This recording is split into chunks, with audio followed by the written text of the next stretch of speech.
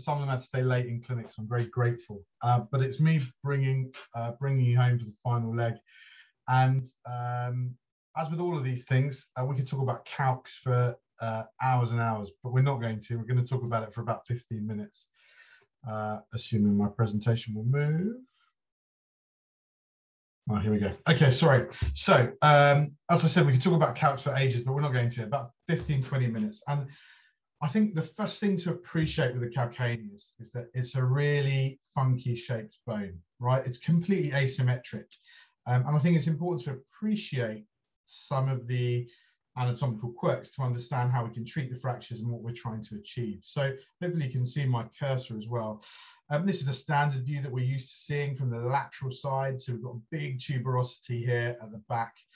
Um, this is the posterior facet, and we'll look at that from a different angle in a second. We've got the anterior process here. And there's a couple of lumps and bumps on the lateral side, and it's important to know what they're for. One of them is the attachment for the calcaneofibular ligament, CFL. So that gives your subtalar joint a bit of um, stability. Um, and the other is a tubercle behind which your peroneals can tuck behind. And that's important because it means that the peroneals can be involved and are often involved in calcaneal fractures. If you have a look at the other picture, um, we're looking at the posterior tuberosity here in a sort of coronal cut, and you can see hanging out the medial side, somewhat like a car wing mirror, is your sustentaculum tali. Now, uh, it's got important ligaments that connect the tali, uh, sustentaculum tali to the talus above, so your deltoid is the main one. But importantly for calc fractures, your um, FHL tendons, your flexor hallucis longus and your neurovascular bundle pass directly under the sustentaculum tali. And obviously they can be involved in fractures as well. When you look at things from the top, um, you see that we've got four articulating surfaces. Um, the three on the top are the, the posterior facet, which is the largest, and then you've got your anterior and middle facets, which are often confluent in one area. And then, of course, when you look at it from the bottom, you can see slightly more clearly your articulating surface with your cuboid, which is about here. Just in front of your posterior facet is the sinus tarsi region. We'll come back to it, but it's something that you'll hear the name of a fair bit. And again, you can see sustentaculum from underneath, got a nice groove for your FHL. So how do these injuries present? Well, they're really high energy injuries, right? So ATLS and in particular a careful secondary survey. We're often talking about falls from height.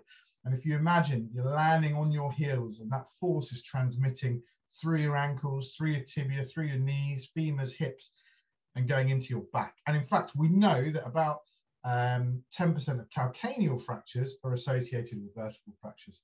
So there's a high rate of associated injury ipsilateral, contralateral, and in the back. Assessment of soft tissues is super important, right? And it's a big area with calc fractures that the air, skin around your heel is generally pretty crappy. We've got to remember that 15% are open injuries. Um, and if you're lucky, by the time you get to a calc, you have a bit of bruising, but it doesn't look too bad. If you're less lucky, you start to get the fracture blisters that are appearing and you're starting to think of trouble because that's only going to get worse. How are you going to fix this if you need to? And if you're really unlucky, it can look pretty horrific in the end. So soft tissue is really important. One thing I haven't put on the slide is that the patient factors are really important as well. You need to find out what job the patients do. Are they smokers? Are they drinkers? Do they have diabetes? Are they taking any meds that are going to compromise their healing, things like steroids, if they're rheumatoid? So all that stuff is really important for putting together an individualized, tailored approach for all of these injuries. Uh, okay, imaging. You need to know what x-rays you need. So we'll spend a bit of time on this. AP ankle. First of all, why do you need it? Well, like I said, you do get associated injuries ipsilateral. But not only that, you can actually see quite a lot of the talus um, on a AP. And basically, if I'm just drawing around the outside here, that's your posterior tuberosity end on. Okay, so you can see the shape of that. You can see that that is your sustentaculum tali on the um, medial side. Um, and you can therefore you'll be able to see quite a lot of that and just remember here that under your fibula, there's a bit of space, right? There's not a lot under here, and we'll, we'll come back to why that's relevant later. You've got your lateral x-ray, which we all are pretty much um, familiar with. You've got the uh, subtalar um, subtalar joint, um, the posterior facet here, just peeping through. You've got the anterior and middle facets. Um, you've got your articulating surface with your uh, cuboid, and you've got your big posterior tuberosity here and your, your Achilles attaching. So that's your pretty much bog standard view that you need. Obliques are good at looking at the anterior process of the calcaneus, so looking at subtle fractures there. And the two other terms you'll hear are the Broden view and the Harris axial. So the Broden view, you massively internally rotate the foot and you just change the foot position and it gives you a nice view along the posterior facet at the back of the subtalar joint. And really importantly, your Harris axial view gives you the opportunity to see how well aligned your posterior tuberosity is. Now, the tendency is for these to go into varus. So that's your sustentaculum there. Uh, important part we'll come back onto again but you need to have a look at where the heel is in relation to the medial side. And you'll often find that everything's stoved in that way. Um, best imaging, of course, is a CT scan because that will give you loads of cross-sectional multiplanar images. Okay. Um, so there are a couple of angles, well, there are loads of angles that you can talk about with calc fractures, but a couple that are particularly important. Um, you need to know about Gissane's angle. Now, Gissane's angle is the angle subtended between a line along the posterior facet, okay, and a line along the anterior process of the calcaneus, okay, and that area is sort of in keeping uh, with your sinus tarsi type area. That normal angle is between 120 and 140 degrees. If you look at the right-hand side of your screen, you will see that this is a calcaneal fracture. It's a bit smashed up, and you can see the tendencies for these calcanei to become flat. So if we do Gissane's angle here, you can see the angle is way more, it's way higher, it's more increased, right? Because it's flattened. So Gissane's angle increases with calcaneal fractures. Um, in contrast, uh, Böhler's angle, which is the other important angle, um, and it's important to know how this is put together. So an angle subtended between a line from the highest point of the anterior process to the highest point of the posterior facet, and a line from the highest point of the posterior facet to the highest point of the posterior tuberosity. That's the angle there, should be about 20 to 40 degrees. And again, if you look at the right-hand side of the screen, what happens when this flattens out is that angle, in this case, gets smaller. Okay, so basically your calcaneus is getting flatter and flatter. So Böhler's angle gets smaller. So how do calc fractures come about? And actually someone once described it to me as trying to squash a brick. So if you squash a brick um, between your hands, so the bottom hand is your floor, the top hand is your talus, what's squeeze, squeeze, squeeze, what's gonna happen? It's gonna blow out, okay? And that's essentially what happens. The side walls all blow out okay? And you can see it here, the talus drives into that sinus tarsi, the angle of this Gissane, and you get multiple lines going in multiple directions. And that's important for one of the classifications that we'll briefly talk about in a sec. But this is important. What I want for you guys is to sound like you know what you're talking about. And with, with calcaneal fractures, is actually not that difficult. There's a couple of things in particular that we need to look at. Back to our calcaneal fracture person, the first thing is subtalar joint depression. So the talus has been driven in here and you've completely lost your posterior facet. It's all punched in. And actually, if you look really carefully, you've got all this, you've got this density here, and you can see these curved lines, which are articular surface that's been punched in. To talk about uh, posterior facet depression, subtalar joint involvement. Talk about um, the varus deformity you see. Now, this X-ray doesn't show it very well, but when it's broken, the, the tuberosity tends to go varus, but also the calcaneus becomes shorter because the posterior tuberosity drives in. So you get a wide heel because you're in varus, you get a short heel, and, pa and patients hate that because they struggle with footwear. They've got a really wide heel. What makes the heel even more wide is the lateral wall blowout. So like we said, when you squeeze that brick and the sides pop out, um, when that happens underneath your fibula, you get a load of problems. One, your heel becomes even more wide. Again, patients hate that, struggle with footwear. But also, you get lateral wall blowout and you suddenly get impingement underneath your fibula. So you've got stuff underneath your fibula, which causes impingement underneath the fibula and it causes irritation to your peroneal tendons. So if you use these phrases, you'll sound like a pro when you're talking about calc fractions. Um, there are a couple of classifications and they're not hugely useful um, apart from in terms of helping to describe to someone over a phone, but th you'll hear them, so I wanted to go through it. The Essex-Lopresti classification is two things. It talks about primary and secondary fracture lines, and that determines what fracture pattern you get. So what happens? Your talus drives down and it shears off your medial sustentaculum. So that's your primary fracture line, okay? And this bit is quite an important bit it's constant for most calcaneal fractures, and that's why we refer to it as the constant fragment. So when you go into the more A-level stuff of calcs and you learn about how to reconstruct these, it's important to understand that we're building things back onto that. The second part of Essex-Lopresti, the secondary fracture line, either comes out of the top, in which case your articular surface is free to become depressed, so you get a depressed fracture, or it travels along the whole posterior body and comes out the back, and you get this tongue type fracture that gets pulled up because your Achilles is pulling on top of it. Okay, so the two main fractures are the Essex Lopresti depression type or tongue type. At some point, if you haven't already, you will also come across uh, come across this monster of a classification called the Sanders classification. Now, I used to look at these images, the one on the left in particular, and think, "My God, I have no idea what's going on." It's not that complicated. You just got to break it down a bit. Um, the first thing to say is that this is a classification for CT. Okay, so you need a CT. The second thing to say is, in particular, what you need is your widest, the widest talus on your coronal cut CT. Okay, so really important. You can't make a comment about Sanders or any other view unless you've got this coronal CT. Okay, and then basically, it's actually not that bad. These ABC lines refer to where the fracture lines are in the count. Don't worry about those for a minute. Um, but type 1 fractures are as many fractures you like, but all undisplaced. Okay, so if it's undisplaced, it's a type 1. If it's a type 2, that means you've got two fragments. So one fracture line going up, which gives you two fragments. Unsurprisingly, type 3 gives you three fragments. So you've got two fracture lines and three fragments.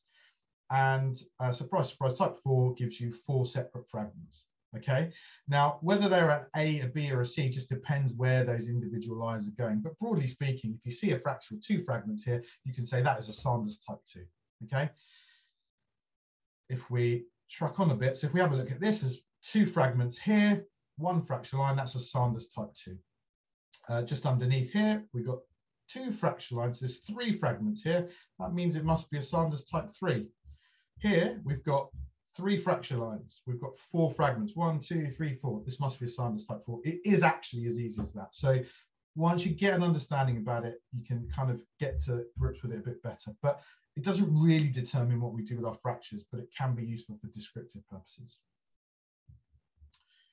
So what are the treatment options? And we're going to talk a little bit about controversy here, but broadly speaking, we can either operate on them or we can manage them conservatively. Non-operative treatment involves non-weight bearing for at least a period of six to eight weeks. For me, I don't use a plaster because a plaster stops you from moving your ankle, but it also means that you've got something hard for your heel to rub against and get blisters and, and um, ulcers, which is a bit of a disaster. The key here is early mobilization. Just because we're managing it without surgery doesn't mean we can't get the ankle moving and prevent ankle stiffness. We can't get your toes moving. We can't get the leg elevated to go stiff um, to help with swelling. So non-operative doesn't mean no treatment. It just means functional rehab. Okay. On the surgical side, if you decide that's the way you're going, you've got to think about your approach. So traditionally, that was always an extensile lateral, but now we're moving away from that to percutaneous and sinus tarsi approaches, which are minimally invasive. You've also got to think about how you're going to fix the fracture, right? So screws, plates, or an intramedullary device. And we'll just talk a little bit about those. The extensile lateral approach is really going slash gone out of fashion. We used to do it all the time. And the reason for that is that if you put your incision far enough lateral and far enough plantar, you miss all the important bits. So you miss your sural nerve, you miss your peroneals, you miss the blood supply, which is the lateral calcaneal artery supplying that whole lateral wall. And you get this great um, approach where you can see everything. We used to love doing these. You get a full thickness flap that's got the blood supply still attached to it. You see the whole side of your calcaneum. You see the subtalar joint. You put a beautiful plate on, everything looks lovely. But then the problem with this is that you get wound complications. And when they happen, they can be a disaster. And quite quickly, you go from small holes to rather large holes with metalwork showing. And what we now know is that you can get the same outcomes with minimally invasive techniques. Okay, so these are two techniques that I use and I know other, other people are using as well, obviously. But the percutaneous technique, you make little stab incisions and you lift up the bits of bone you need to lift up. So remember, what are we trying to achieve? You want to restore your subtalar joints. You make a little incision here and lift that up with a little periosteal. You want to get your heel out to restore some length, and you want to get it out of there. So you stick a Schanz pin or a Steinmann pin into the heel and use it as a joystick to pull your heel out and to correct the varus. Um, and you fix it with some screws to hold it all together. And that these are all done through stab incisions, which means you haven't got wound complication issues. And this patient went on to do really well. You can also do a sinus tarsi approach. You make a little incision over the sinus tarsi, um, just at the angle of Gissane, and you can slip a little plate in and you can restore your subtalar joint, get some fixation to tuberosity, and you can all do it through quite a nice little approach that heals rather well. Um, I said there's some controversies with surgical versus non-surgical, but there's one type of calcaneal fracture for, that for me is not a controversy, and that's this tongue type fracture. So as we said, the force goes all the way through the tuberosity, and the, um, the Achilles pulls it up. Why is that important? Because it means that that bit of bone is pressing on the back of the skin, and you can see it here and here. Um, really, it doesn't take long. Uh, sorry, it doesn't take long for um, little bits of pressure areas to become skin ne necrosis. And in, in, fact, some studies talk about as quickly as six hours. So for me, this is a relative surgical emergency. And they're relatively straightforward to do. You make a small incision in front of your Achilles, you make a small incision on the base of the foot, you put a clamp in there, squeeze it together, and use some big old screws to engage that plantar cortex where the good bone is and squeeze it all together. And they go on to do very well. Uh, broadly speaking, complications, it's pretty miserable having a calcaneal fracture. We've talked about wound complications. A, a fair amount of patients go on to subtalar arthritis. Um, if you've got that lateral wall blowout and you've got subfibular impingement, life is miserable. Um, the sural nerve can be injured in fracture and from surgery. They estimate that about 10% of count fractures that are nasty have, have a compartment syndrome, which can result in clawing of the toes. Um, and mal- malunion's a problem, right? So, you know, if you lose your calcaneal height, the leg feels short. if your heel is wide because of the lateral wall blowout and varus hindfoot, they hate it because you can't get into a shoe. Um, and it can be painful because of the arthritis. So pretty miserable round. I wanted to briefly talk about evidence. Now, I know you don't have to worry about it too much at your level, but we don't know really, honestly, what's better, surgery or not. And you can find evidence to support both. So a good paper to support if you want to fix is this paper by Richard Buckley um, from Canada. And this was the American JBJS 2002. It's a multi-center uh, Canadian trial, prospective, looking at fixation versus um, conservative. And briefly speaking, if you left all the groups as they were, the two main groups, there was no difference between fixing them and non-fixing them if you took out the workers' comp patients, which is a concept I'm sure you're aware of in America and the US and the States and Canada, um, the surgical patients did much better. Okay, so this is a nice little paper to quote if you want to go around fixing calcaneal fractures. You will also be aware of the BMJ paper that had a slightly sensationalized heading, Calcaneal Fractures, Surgery Provides No Benefit. And this was a prospective multi-center UK trial um, that looked at surgical versus non-surgical. And in summary, they said that there was no symptomatic or functional advantage um, at two years, whether you fix them or not. Okay, and that sounds great, right? So why bother fixing any? But when you're talking about this, there were a number of non-ideals about the paper.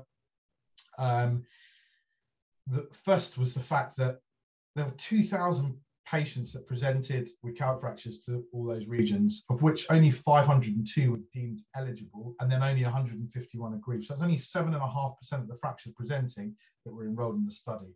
So I wouldn't, you know, you could argue that's not necessarily representative. Okay. Um, 27 surgeons, 22 different hospitals. That's only a median of two fractures um, for the study.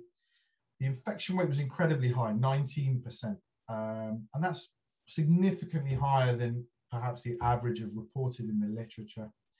Um, and surgeons were allowed to decide that some calcs just needed fixing, and those weren't included in the study, and they were taken out.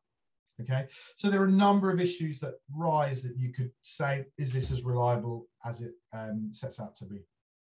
But again, a paper that supports non-surgical intervention in some calcs. So that's it, we're done. The key bits I want you to remember, these are high energy injuries, like a lot of things in the foot and ankle, that traditionally not associated with great outcomes. The main issues are tuberosity varus, calcaneus shortening, okay, both in length and in height, subtalar joint impaction, okay, lateral wall blowout and subfibular impingement. Use those phrases and people will think that you know everything you're talking about with calc fractures. The best treatment is controversial and the best approach, as with many things, is probably tailored, um, taking into account patient factors and fracture factors. Don't worry too much about extensile lateral because we're moving towards percutaneous and uh, more MIS techniques. And just remember, these are pretty miserable, right? Um, there's a lot of soft tissue problem, there's wound issues, they're painful, and they're associated with post-traumatic arthritis. So guys, that's it. That's a whistle-stop tour. Uh, I'm going to stop sharing. Um, that's a whistle-stop tour of calc fractures. Thank you um, for coming along. Uh, it's been a bit of a marathon session. Hopefully we've covered a lot of the um, key bits. Uh, if you've got any questions, um, stick them in the chat. Um, otherwise, I'll pass you back over to Shamali.